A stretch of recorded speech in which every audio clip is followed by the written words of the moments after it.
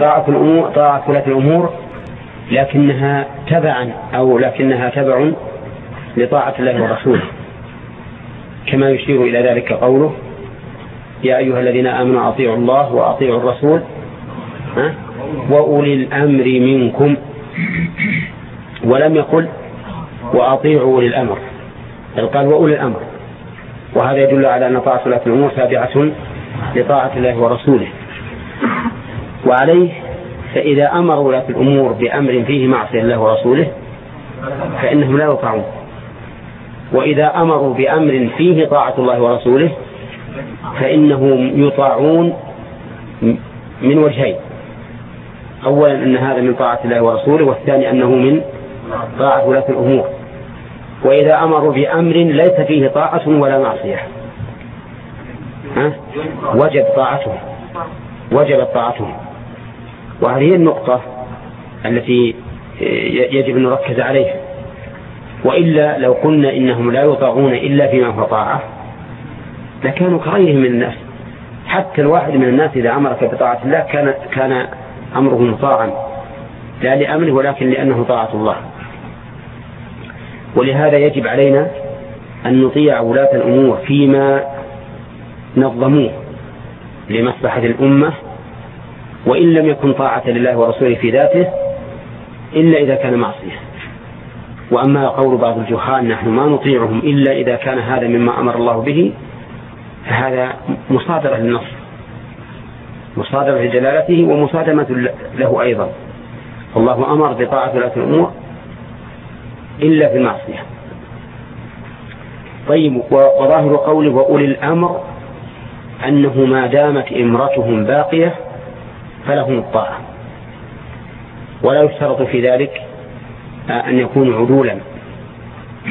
بل حتى لو رأينا من بعضهم ما هو معصية فإنه يجب تجب طاعته. ما نقول والله ما نطيعه إلا إذا أطاع الله هو أبدا. أطعه وإن ضرب ظهرك وأخذ مالك. ما لم يأمر بمعصية الله. ولهذا تجد هؤلاء الذين نعتبرهم سفهاء خرجوا على ولاة الأمور بمجرد أنهم رأوهم فسقة ماذا حصل؟ حصل من الشر والفساد ما هو أعظم مما, مما كان عليه هؤلاء الولاة. اقرأ التاريخ من حين حصل الاختلاف على الأئمة إلى يومنا هذا. تجد الشر والفساد كله في الخروج على ولاة الأمور. ماذا حصل من قتل عثمان رضي الله عنه ومن قتل علي بن أبي طالب ومن قتل من قتل من بقية الخلفاء؟ حصل الشر والفساد. حتى أولئك السفهاء الذين خرجوا على ولاتهم واستحلوا كراسيهم وسموها ثورة وما أشبه ذلك ماذا حصل؟ هل أصلحوا الوضع؟ نعم أبدا. بل إن المتأمل يجد أن الوضع الذي كان في السابق نعم خير مما هو عليه الآن.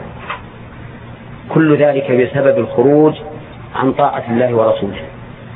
فلو أن هؤلاء أعطاه الله ورسوله في الصبر على ولاة الأمور وطاعتهم في غير معصية الله لنالوا خيرا كثيرا. نعم. إذا رأينا يعني يعني من في الأشياء يعني ما هو مخالفة يعني مخالفات يعني أهم شيء يعني. كيف التوجيه على حتى لو رأيتهم مثلا يعصون الله في أمور فأطعهم طاعتك إياهم. خير لك. واحد وإثمهم على على أنفسهم. نعم.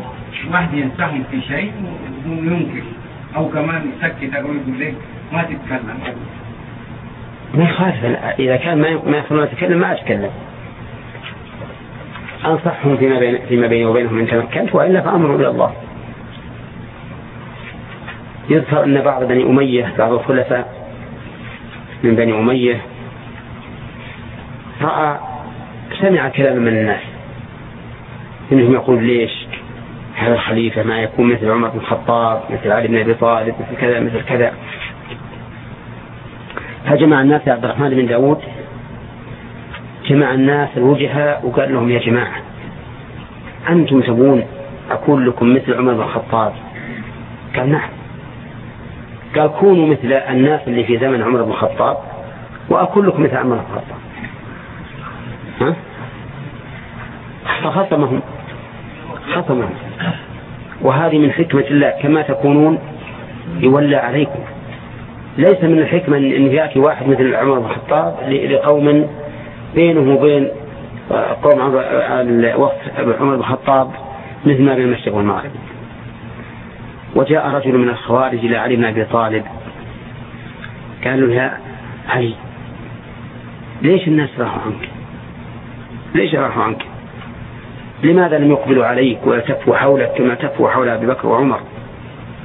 قال لأن رجال أبي بكر وعمر أنا وأمثالي. ورجالي أنت وأمثالك. نعم؟ فخصمه خصمه الحجاج قال تبادل وتعمد اي المهم إن هذه حقيقة. الولاة الآن يا آدم عليك أن تسأل الله لهم الهداية فيما حصل لهم من المخالفات ولكن لا تثير الناس عليهم.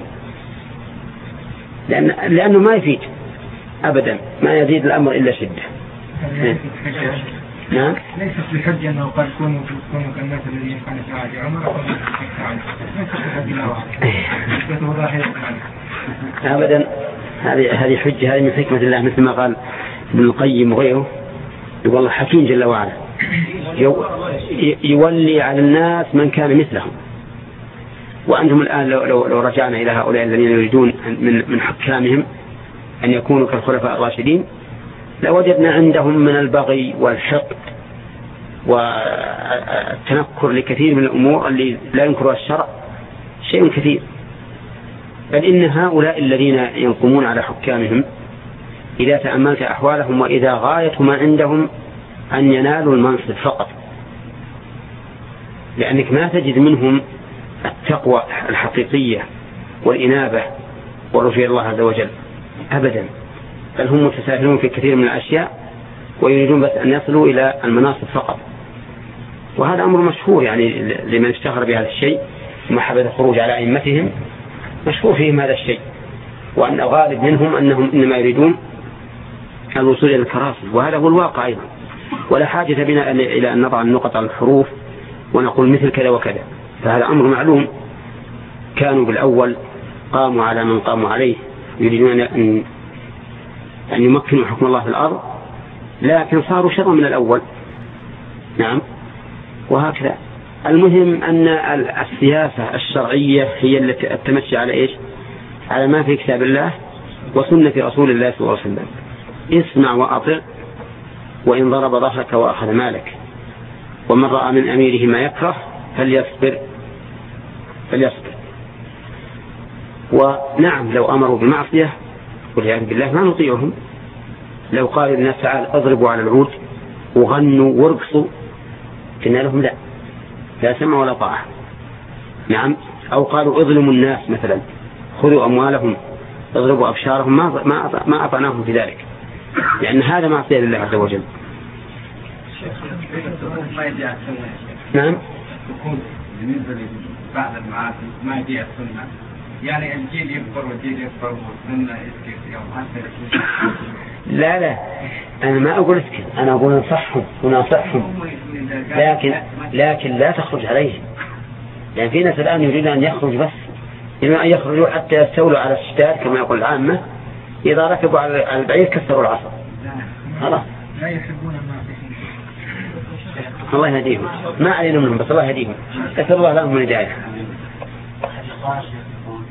ولو يعني جاء الخطاب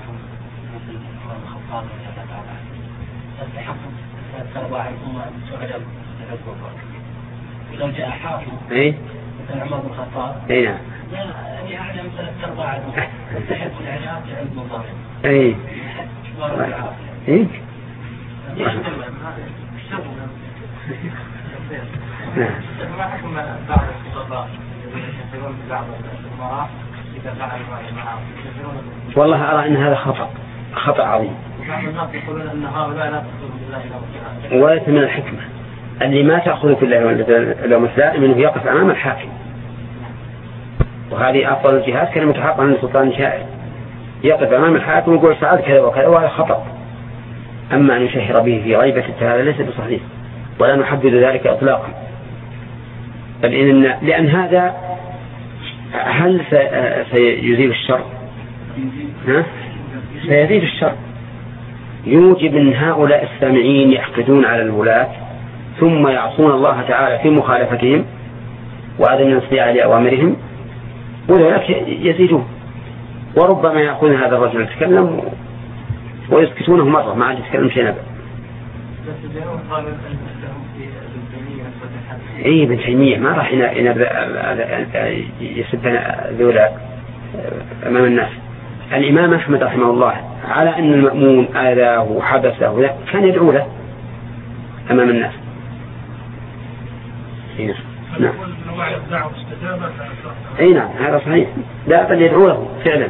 طيب قوله تعالى عن قوم فرعون قوم طاعون نعم. إنهم كانوا قوم نعم. فكانوا مذمومين لما كتبوا على رؤيا فرعون. اي نعم. لما الجمع بينهن اولا أن شريعتنا وردت بخلافها الشيء الثاني أن هؤلاء عندهم موسى عليه الصلاة والسلام يدعوهم إلى الله. دعاهم إلى الله وبين لهم الحق. وقد اتبعه ناس. ومن الممكن أن يكون له شوكة. لكنهم فسقوا باستخفاف إياهم. نعم. المهم من هذا الحقيقة هذه هذه المسألة تختلف فيها الآراء لكن الحكم فيها إلى من؟ إلى الله سبحانه وتعالى. فإذا كان الرسول الله يأمرنا أن نطيع وولاة الأمور في طاعة الله ما بقي كلام لأحد. نعم.